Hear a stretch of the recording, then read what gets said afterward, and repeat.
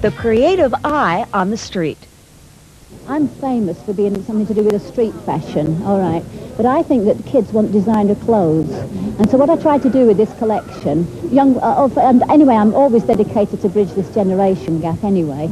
But um, what I tried to do with the collection was to make it look as if people put the clothes together themselves so that if you only have a certain amount of money to spend, you can buy your one designer thing and you can put anything at all with it.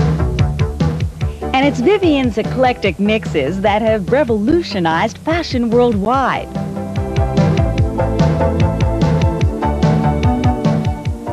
She brought denim into the high fashion arena with innovative cuts and detailing.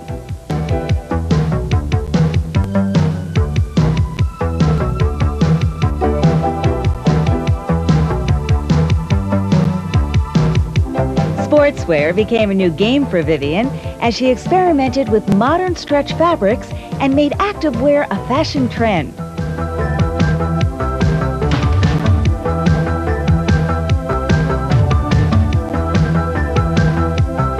She plays with form and structure to create new classics. I always like my clothes to have some kind of space and time of their own, as if they could be um, happening 50 years from now or 1,000 years from now. I like them to have a feeling of space, as if the people who live there have some space to, and perspective. Fashion talks about the culture very much because it's the culture, because fashion moves so quickly, you know, changes so quickly. Because I believe that the culture is the lifeblood of the human race, and it's my job to keep it pulsing, give it a beat all the time, keep it moving. Always outrageous and unpredictable, Westwood's clothes are met with both outrage and curiosity.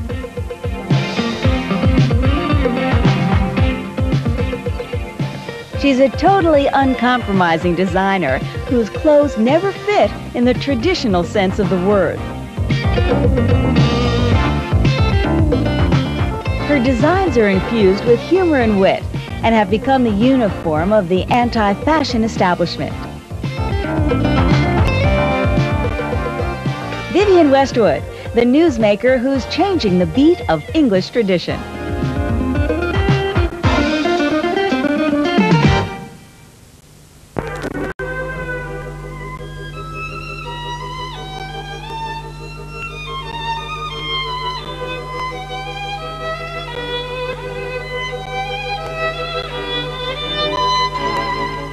Calze velate con motivo del logo della primavera-estate 69.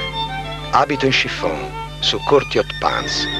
Il tessuto richiama nel disegno il costruttivismo nella ricerca del modulo geometrico. Nel gioco del bianco e blu si inserisce l'abito con alta cintura in metallo e il logo intarsiato della primavera-estate 69.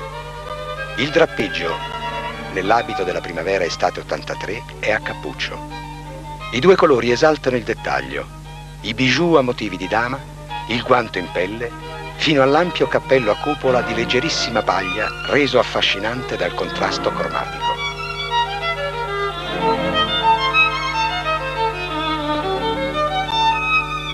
Linea Ibis della primavera-estate 59, la prima collezione di Valentino a Roma con la sua griffa.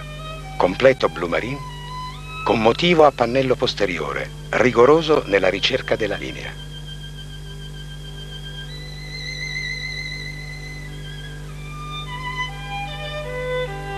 Abiti in bianco e nero della primavera-estate 66 e dell'autunno-inverno 65 tra i nastri intrecciati e ricami a quadri in paillette. Colpisce il geometrismo degli intarsi e il gioco ambiguo dei nastri passanti nei nodi, presenti in diverse combinazioni, nella collezione autunno-inverno 87.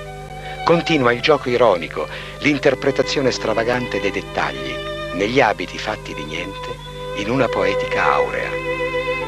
Vi è puro grafismo in certi effetti creati dai bianchi e neri. Ci sono citazioni pittoriche nei tessuti stampati, architettura nell'equilibrio dei volumi come un incontro alchemico tra negativo e positivo, in spigoli, quadrati, righe, forme che attingono a colte citazioni che spaziano da Walter Crane all'optical, dai mosaici romani ad Hoffman.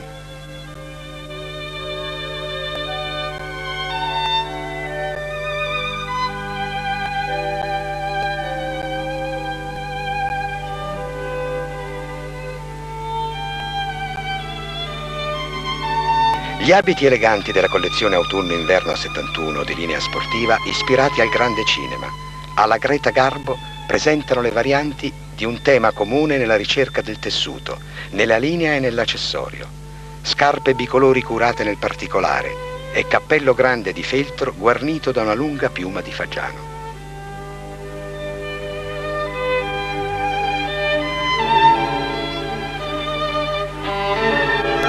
Autunno-inverno 75. Abiti da giorno dalla linea sottile accentuata da cappelli turbante a treccia di lana e castoro color miele.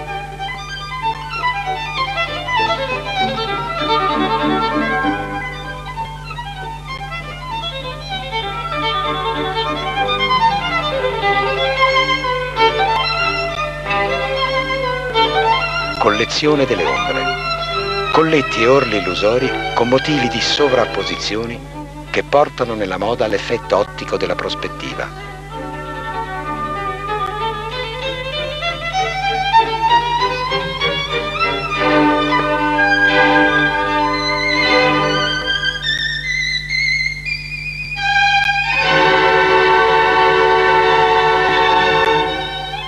Uno sprazzo esotico è dato dai pigiama presenti nelle versioni gypsy della primavera-estate del 69, sottolineati dal motivo a poncio frangiato di forte colore arancio e da volant e da coralli disseminati nei ricami e nei bijou a stelle marine.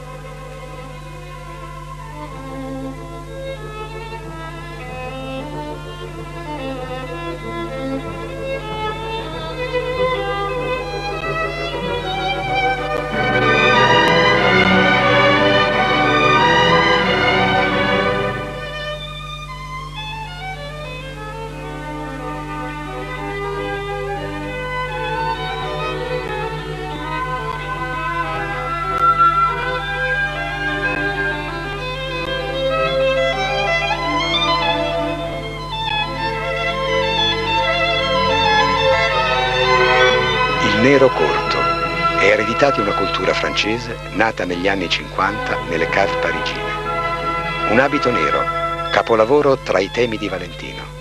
Poi il nero diventa lungo. Nascono i giochi sottili della seduzione attraverso le trasparenze.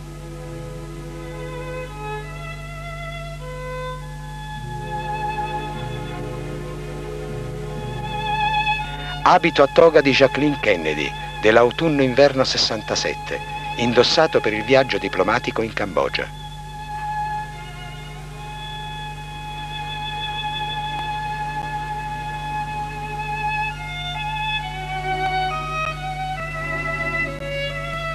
Il colore diventa prezioso nel gioco del drappeggio, alta tecnica sartoriale nata da un severo apprendistato presso il celebre couturier di origine greca Jean Dessay famoso proprio per i suoi elaborati drappeggi. In Valentino talvolta diventano sfumature, contrasti di colore. Le linee che si intrecciano sono a cesto, a sbieco, a motivi che diventano formule geometriche, elaborati pittorici vicini al mondo dinamico di una cultura futurista tra il cromatismo di Balla e il movimento di Boccioni.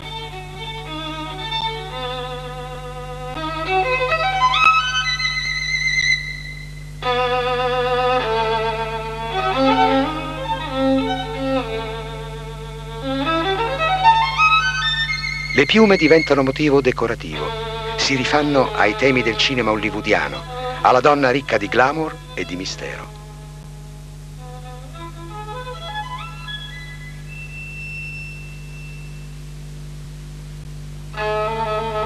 Ritorna il bianco negli abiti preziosi da sera. Abito da sposa di Jacqueline Vedova Kennedy per le nozze con Aristotele Onassis. Calze dipinte a mano con effetto merletto e scarpe settecentesche. Lo stile è prezioso anche nel dettaglio. L'abito proviene dal Metropolitan Museum di New York. Il bianco prezioso, tra lucido e opaco, nel pigiama della collezione primavera estate 69.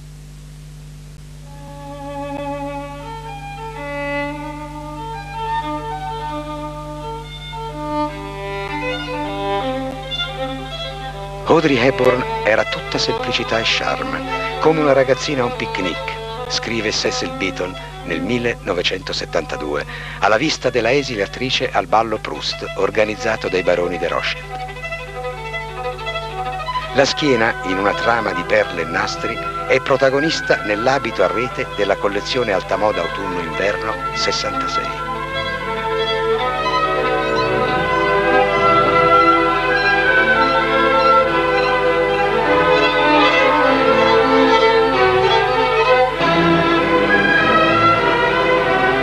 Il bianco si esalta nell'abito di linea classica con festoni argentei che ci riportano alla Nike di Samotracia. Federico Zeri così commenta gli abiti di Valentino. Guardandoli e riguardandoli, esaminandone le tipologie, gli ornati, le gamme cromatiche, gli svolgimenti stagionali annuali, mi sono persuaso che essi nascono da un accordo perfettamente realizzato fra una struttura di base un'ossatura se si vuole, che rimane immutata e le variazioni imposte di anno in anno dalla moda e dalle inclinazioni del momento.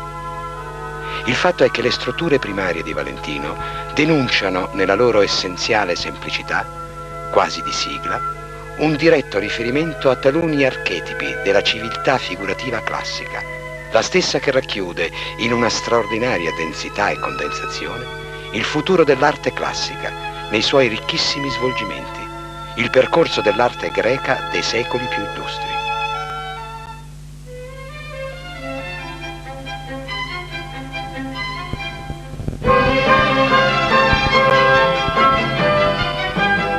Patricia Peterson, New York Times, 1963. La collezione di Valentino è stata in assoluto la numero uno. La sfilata di ieri sera a Palazzo Pitti ha portato il giovane designer, che è bello come lo sceicco, al top della moda. Eugenia Shepard, 1964. Per la seconda volta nella storia, le donne fremano per un giovane uomo di nome Valentino. Questa volta non è un attore, idolo delle platee cinematografiche, ma un designer italiano che vive a Roma.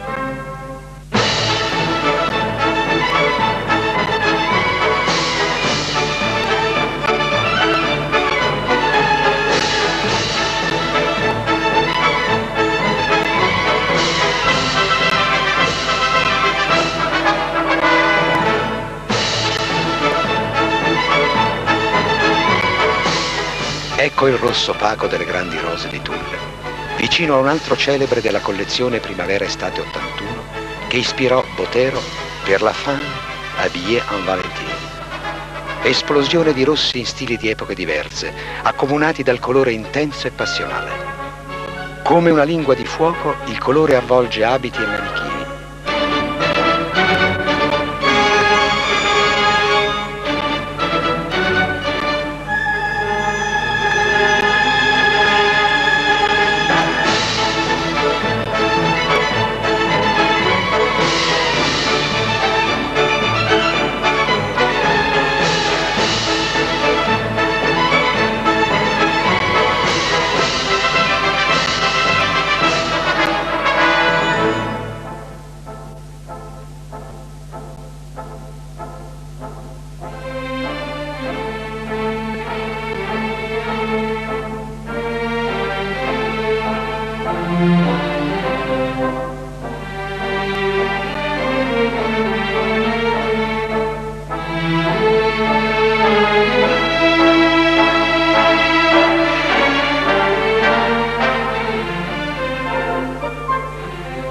Il rosso valentino è qualcosa di più di un mondo da raccontare. È sinonimo di stile e pertanto al di fuori dei luoghi comuni. Esso vive una sorta di estraniamento, racconta Valentino. Cominciai ad amare questo colore a 17 anni, durante la mia prima visita a Barcellona. Alla prima all'opera, le donne intorno a me e nei palchi sembravano corbei di fiori rossi. Portavano tutte qualcosa di rosso.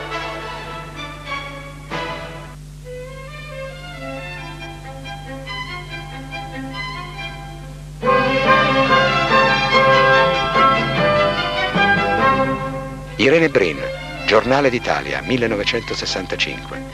I suoi pigiami da sera strappano urla di entusiasmo a un pubblico compatto e intenso. È un innovatore, un sarto straordinario, un artista. Marion Christie, Boston Globe 1967. Valentino si impone nel ruolo di chic. Gloria Emerson, New York Times 1967.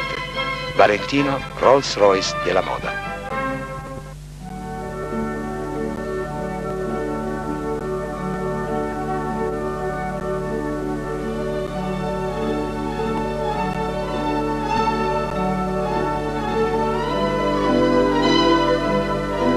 Sala scrigno sono esposti abiti da ammirare, essendo veri gioielli sartoriali, rilucenti di ricami ed intarsi di diverse tecniche artigianali, dal filo di seta al prezioso intarsio, al ricamo povero nell'uso dei materiali a quello raffinato nell'uso del colore, abbinato alla materia. Pietre lucenti, scintillanti broderie, gonne ricamatissime, lucide e splendenti come lacche cinesi. Tutto ci parla di Valentino e del suo mondo di appassionato collezionismo che poi trasforma in fonte ispiratrice. È impossibile rimanere indifferenti di fronte alla materia dei ricami nei piccoli bustier. Una collezione per me è come un quadro per un pittore o una partitura per un musicista, afferma Valentino.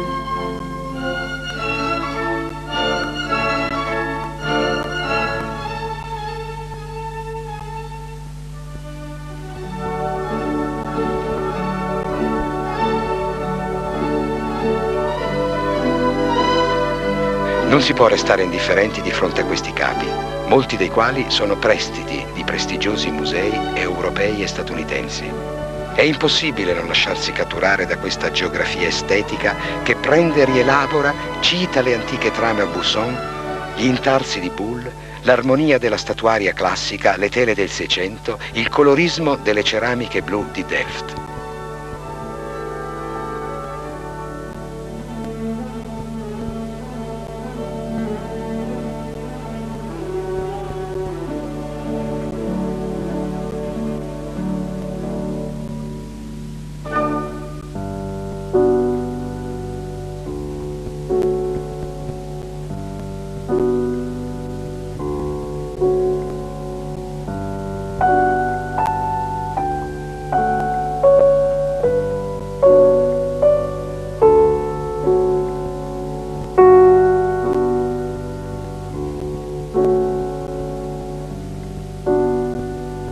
Tuniche con broderie che si ispirano ai mosaici islamici, giacconi lavorati ad intarsio dai motivi etruschi ingigantiti.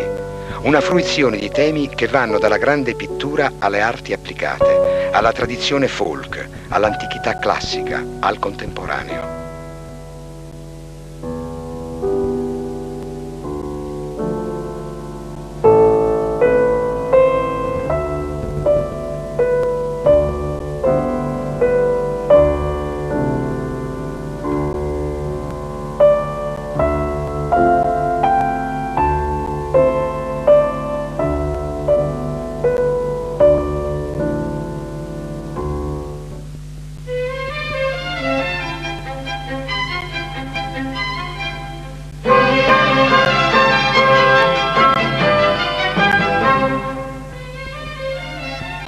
Eugenia Shepard, International Herald Tribune 1967. La grande notizia è che Valentino fa concorrenza a Parigi.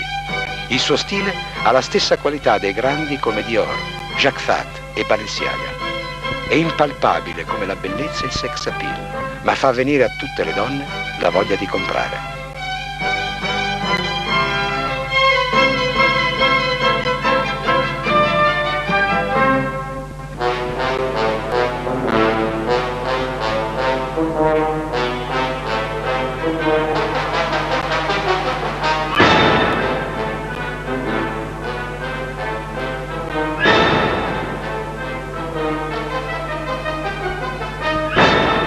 Abiti ispirati al mondo animale, quello libero delle foreste e delle giungle amazzoniche, il felino visto nella sua totale bellezza, bisogno di libertà, libertà nella fantasia di Valentino che si esalta nella linea sinuosa,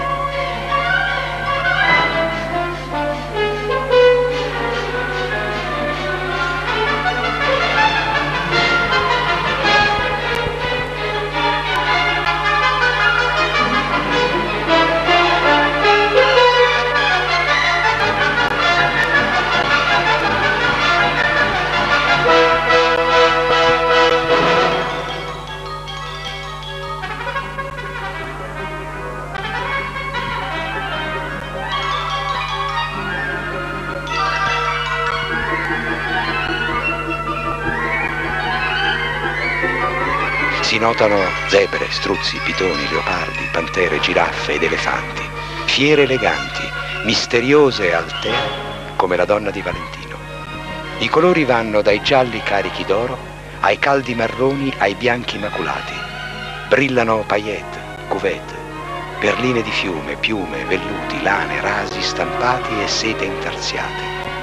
Il motivo animal print è costante nei temi di Valentino.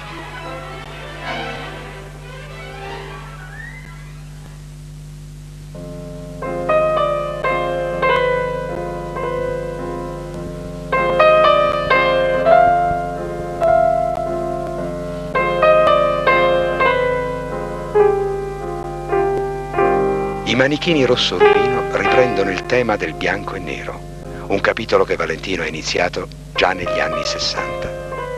Da elementi spesso incoerenti nasce la mia coerenza creativa. Tutto viene filtrato dalla mia matita, dice Valentino. Collezione Hoffman dai rigorosi abiti ricamati in perline nere sul raso bianco della collezione autunno-inverno 89.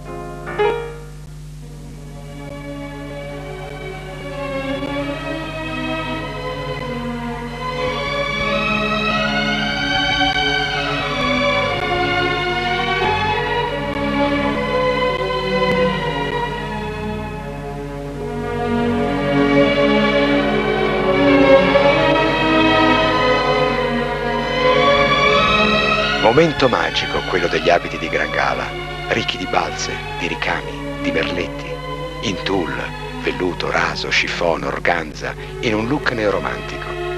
L'abito come rappresentanza, come evento spettacolo. Il momento è il ballo. Come affermò Diane Vreeland, Valentino ama le donne che credono nell'overdressing. Egli crea abiti indimenticabili, mitici, opulenti e delicati esempi di superba bellezza e di grande femminilità. Per un tempo senza tempo, al di fuori e al di sopra di una banale realtà, egli si ispira al pittore delle regine Franz Winter